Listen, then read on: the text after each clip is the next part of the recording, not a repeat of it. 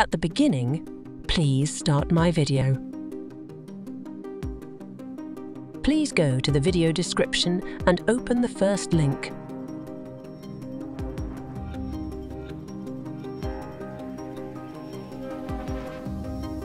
Scroll down and sign up easily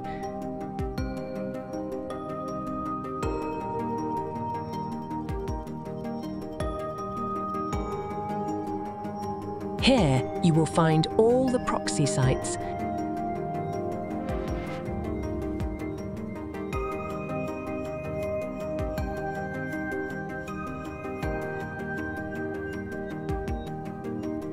Now, watch the main video on how to work